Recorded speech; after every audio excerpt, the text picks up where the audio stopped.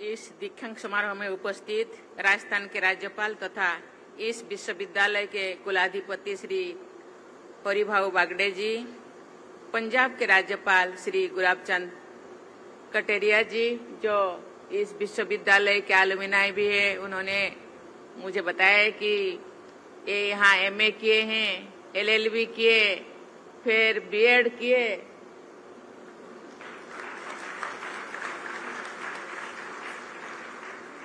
उप मुख्यमंत्री डॉक्टर प्रेमचंद वेरवा जी कुलपति प्रोफेसर सुनीता मिश्रा जी सभी प्राध्यापकगण एवं कर्मचारीगण, अभिभावकगण और स्वजनों और प्रिय विद्यार्थियों इस समारोह में आप सबके बीच आकर मुझे बहुत प्रसन्नता हो रही है।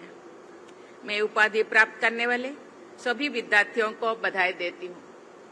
आज स्वर्ण पदक प्राप्त करने वाले विद्यार्थियों को मैं विशेष विशेष बधाई देती हूँ। आज का दिन न सिर्फ़ उपाधि प्राप्त कर रहे विद्यार्थियों के लिए विशेष है, बल्कि उनके शिक्षकों और अभिभावकों के लिए भी अत्यंत हर्ष का दिन है।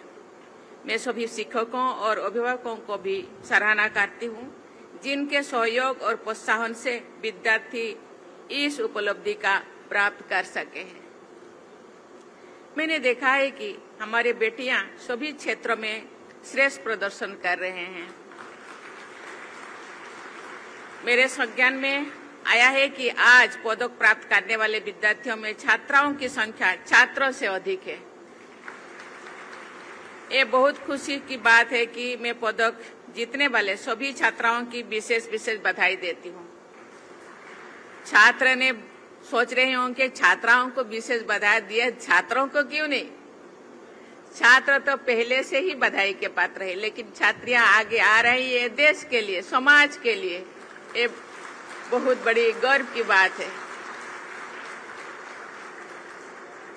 प्रिय विद्यार्थियों, मेवाड़ा और मेवाड़ और जयपुर की विभूतियों ने स्वाधीनता संग्राम और राष्ट्र निर्माण में महत्वपूर्ण भूमिका निभाई है। ये क्षेत्र सदियों से राष्ट्रीय अस्मिता के संघर्ष का साक्षी रहा है। राणा राम सांगा, महाराणा प्रताप और भक्ति काल की महान संत कवियत्री मीराबाई का ये क्षेत्र शक्ति और भक्ति के संगम का क्षेत्र कहा जा सकता है। यहाँ की जनजाति बहुल आबादी ने इस क्षेत्र का ही नहीं, पूरे देश का गौरव बढ़ाया है। यहाँ के इतिहास का आपको अध्ययन करना चाहिए। इससे आपको भारत की गौरवशाली परंपराओं के बारे में जानकारी मिलेगी।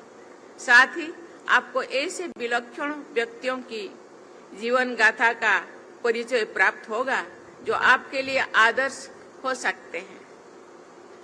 देवियों और स्वजनों स्वाधीनता संग्राम के दौरान रियासतों में लोकतांत्रिक अधिकारों की मांग के लिए प्रजा मंगल बनाया गए है। इस क्षेत्र में गठित मेवाड़ प्रजा मंडल को माणिक्य लाल वर्मा, बलवंत सिंह मेहता और बुरेलाल वया जैसे विभूतियों ने नेतृत्व प्रदान किया है। बाद में श्री मोहनलाल सुखाडिया मेवाड़ प्रजा मंगल के महासचिव बने। आपके विश्वविद्यालय का नाम उनके ही नाम पर है। राजस्थान के मुख्यमंत्री के रूप में उनका लंबा कार्य माध्यम है। छह दशकों से भी अधिक समय से ये विश्वविद्यालय उच्च शिक्षा प्रदान कर रहा है।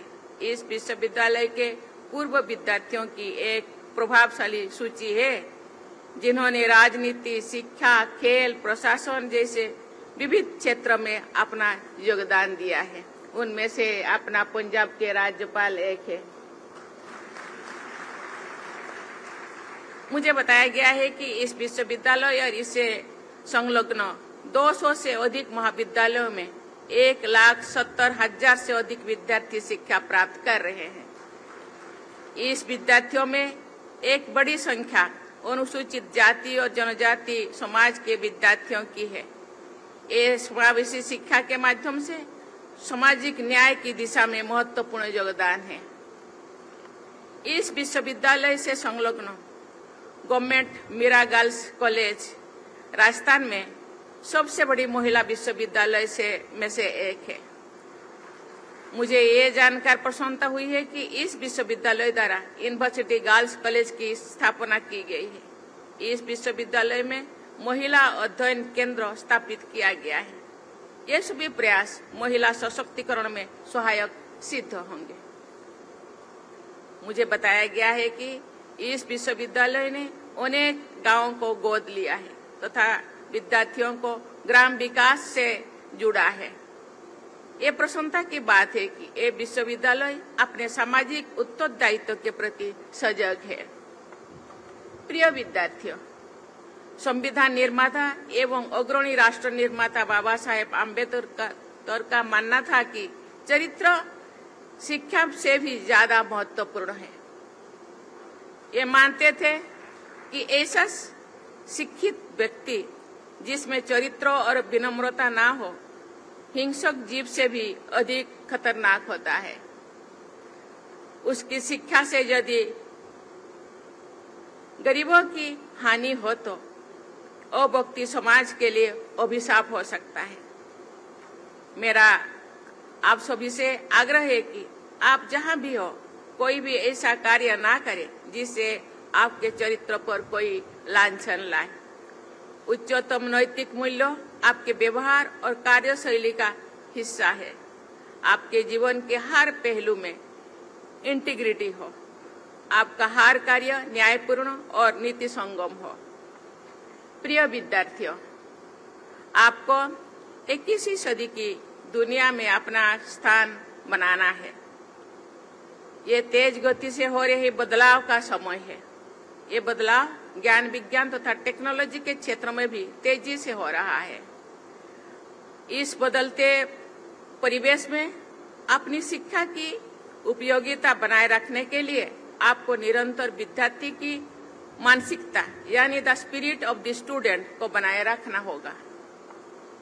आप तो जो शिक्षा आपने प्राप्त की है, वो जीवन यात्रा के लिए एक प्रस्थान बिंदु है। जीवन यात्रा का पूरा मार्ग आप, आपको अपने निरंतर परिश्रम और निष्ठा के बल पर तय करना है। साध्यता में प्रमाद, यानी मानसिक अध्ययन न करने की सीख केवल विद्यार्थी जीवन में ही नहीं, बल्कि आजीवन साथ देती है। आपको व्यक्तिगत महत्वाकांक्षा और सामाजिक संवेदनशीलता दोनों का समन्वय बनाकर आगे बढ़ना चाहिए। वस्तुतः इन दोनों ने सहज संतुलन बना रहता है। संवेदना एक प्राकृतिक गुण है। परिवेश, शिक्षा और संस्कारों में व्याप्त करुणा से कुछ लोग अंध स्वार्थ स्वार्थ का मार्ग पकड़ लेते हैं। परंतु सबके हित को प्राथमिकता देने के विचारधारा आपकी प्रतिभा को और अधिक विकसित बनाएगी। परोहित करने में अपना हित सहज ही सिद्ध हो जाता है। हमने वर्ष दो तक एक विकसित राष्ट्र बनने का लक्ष्य रखा है। आपकी पीढ़ी के योगदान के बल पर ही ये राष्ट्रीय लक्ष्य प्राप्त करना संभव हो सकेगा। मैं आशा करती हूँ कि आप राष्ट्र निर्माण और देश निर्माण में यथाशक्ति सर्वाधिक योगदान देंगे। प्रिय विद्यार्थियों, मुझे आशा है कि आप अपने आचरण और कार्य से अपने परिवार, समाज और देश का गौरव बढ़ाएँगे। इसी में आपकी शिक्षा की सार्थकता सिद्ध होगी। मैं आपके स्वर्णिम भविष्य की कामना करती हूँ। धन्यवाद। जय हिंद जय भारत।